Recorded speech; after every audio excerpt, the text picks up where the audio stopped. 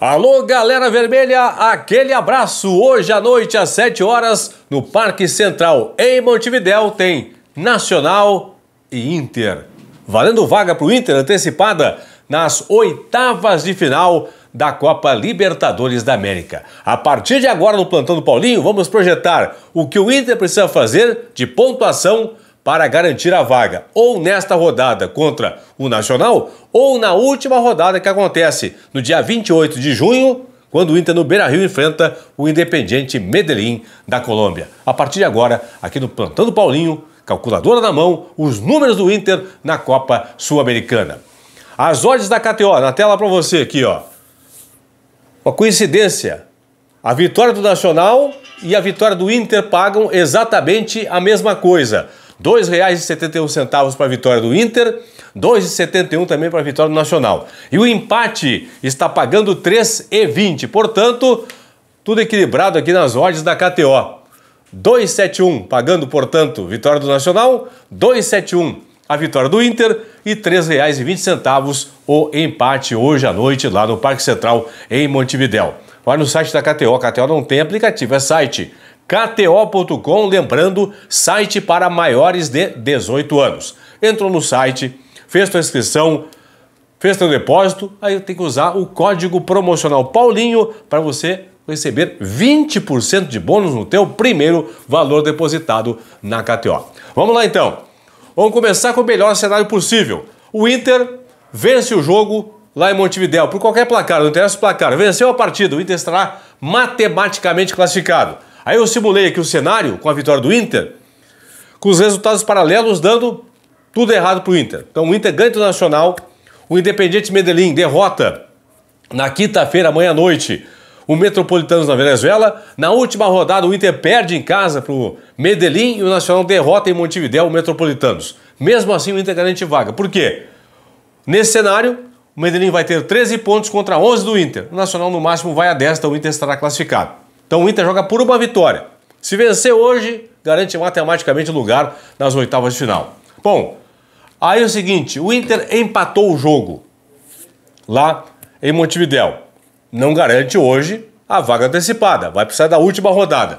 O Inter empata hoje e vence na última rodada no Beira Rio. O Independente Medellín garante a vaga matemática.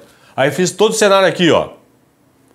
Com o Inter empatando em Montevidéu e vencendo no Beira Rio na última rodada. O Inter vai ter 12 pontos contra 11 do Nacional, 10 pontos do Independente Medellín, portanto o Inter classificado na primeira posição, empatando hoje em Montevidéu e perdendo, aliás, e vencendo o jogo final no Beira-Rio. Bom, aí o Inter empatou hoje, mas empatou na última rodada. Você vai me perguntar, Paulinho, o que o Inter tem que fazer empatando os dois jogos aí, hoje na última rodada, para garantir lugar nas oitavas de final? Então vamos por partes. Tem que secar um dos dois.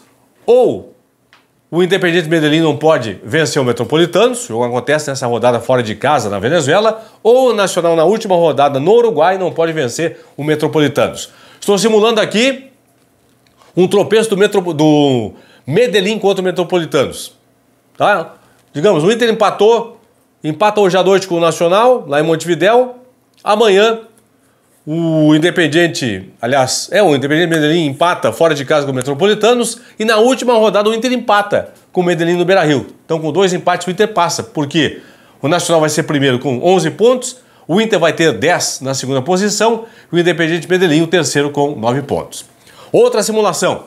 O Inter empata hoje, empata na última rodada e o Nacional na última rodada em casa não vence o Metropolitanos. Aí é o seguinte, o Independiente Medellín ocupa a primeira posição com 11, o Inter vai ser segundo com 10, o Nacional terceiro com 9 pontos. Então o Inter passa na segunda posição, se empatar os dois jogos e se o Nacional na última rodada em casa não vencer o Metropolitanos. Vamos seguir em frente.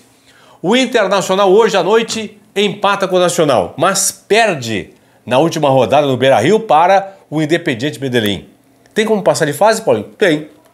Mas para o Inter passar de fase nessa situação aqui, ó, empatando hoje, perdendo na última rodada, só se o Nacional for derrotado em casa na última rodada pelo Metropolitanos. Se isso acontecer, o Inter empata hoje, perde na última rodada o Nacional, acaba perdendo em casa na última rodada também no Uruguai lá para o Metropolitanos, O Independiente Medellín fica na primeira posição com 13, o Inter na segunda com 9 e o Nacional em terceiro, eliminado, com 8 pontos na tabela.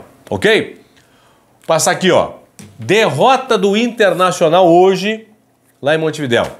1 a 0 pro Nacional. O Inter só vai depender dele. Se na última rodada, perde hoje, se na última rodada no Beira-Rio, o Inter vencer o Independiente Medellín da Colômbia, o Inter garante matematicamente vaga na próxima fase, estará classificado. Por quê? Eu explico. Digamos, Inter perde hoje para o Nacional. O Medellín amanhã vence o jogo lá na Venezuela, derrota por 1 a 0 o Metropolitanos. Na última rodada no Beira-Rio, Inter 1, Medellín 0. Nacional em Montevideo 1, Metropolitano 0. Estou dando assim vitórias, né? O Nacional fecha em primeiro, com 13 pontos, o Inter em segundo com 11. E o Medellín vai ficar em terceiro, eliminado com 10 pontos na tabela. Então, se o Inter perder hoje, joga por vitória simples, independentemente de qualquer outro resultado paralelo, na última rodada. Perdeu hoje, venceu na última rodada, garante vaga nas oitavas de final. E um último cenário, vamos lá. O Inter perde hoje e empata na última rodada contra o Independiente Medellín da Colômbia no Beira-Rio. Paulinho, mesmo assim com um pontinho, uma derrota hoje, um empate na última rodada, dá para passar? Dá para passar, desde que, atenção, desde que o Independiente Medellín amanhã perca para o Metropolitanos. Entenderam? Então, se o Inter perder hoje e o Medellín amanhã perder em Caracas, na Venezuela, para o Metropolitanos, o Inter vai jogar por um empate na última rodada para garantir a vaga. Cenário: esse cenário aqui. Acontecendo isso, o Nacional fecha o grupo com 13 pontos na primeira posição, o Inter vai segundo, ser segundo com 9 e o Independiente Medellín em terceiro lugar com 8 pontos e eliminado. Então são os cenários do Inter vencendo, empatando ou perdendo o jogo na noite desta quarta-feira lá no Parque Central em Montevidéu. Bola rolando a partir das 7 horas da noite, Nacional de Montevidéu e Internacional. Último jogo lá, 2019. O Inter venceu por 1 a 0, gol marcado por Paulo Guerreiro no finalzinho do jogo. É isso aí. Tchau.